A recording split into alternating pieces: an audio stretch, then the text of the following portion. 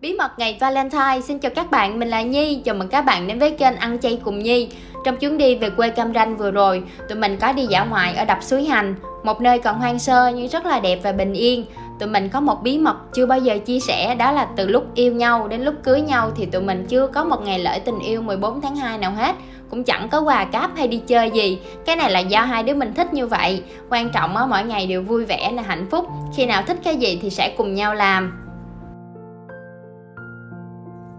Cũng như các chuyến đi khác á, lúc nào như cũng đem theo nhiều đồ. Hôm nay là một bữa ăn nhẹ có bánh với trái cây thôi. Trái cây ở nhà có sẵn á, tụi mình mang theo. Rồi làm thêm nước uống nữa. Tụi mình đi lúc chiều nè nên thời tiết đẹp gió mát quá trời luôn và quay trở lại câu chuyện ngày Valentine. Nếu không có ngày lễ thì tụi mình làm gì?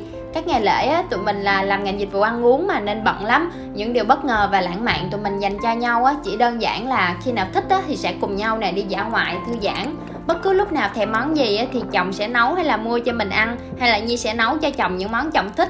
Cùng nhau chia sẻ việc nhà nè và lên kế hoạch cho những chuyến đi xa. Những lúc này á, là nhi hào hứng lắm vì tụi mình còn chưa được khám phá hết cảnh đẹp của việt nam không biết ở đây có cặp đôi nào giống tụi mình không nữa? Không có ngày Valentine, nhưng ngày nào cũng có thể trở thành Valentine nếu mình muốn. Ăn uống này thư giãn không giá xong, Tụi mình chụp nhiều hình đẹp lắm nha. Thời tiết cảnh đẹp đó làm mình cũng rất là thoải mái.